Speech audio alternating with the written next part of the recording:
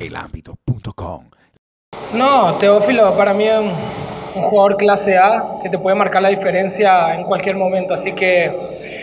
llegue de la manera que llegue, los grandes jugadores de por ahí se salen a reducir en esta clase de partido donde por ahí uno dice que no está en su mejor momento, pero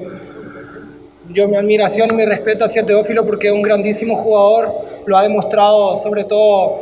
en Junior, en el fútbol argentino dejó sus huellas y en la selección colombiana también, así que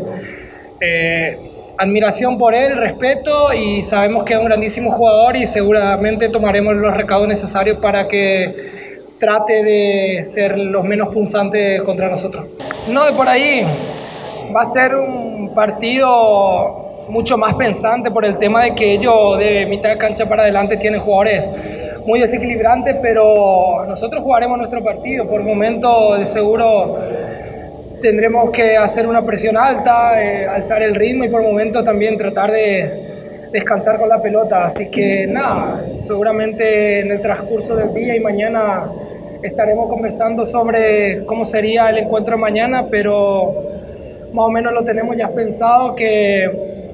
jugando de la misma manera, pero mucho más inteligente que lo que hemos hecho con Godoy Cruz, podemos sacar beneficio en el partido de mañana.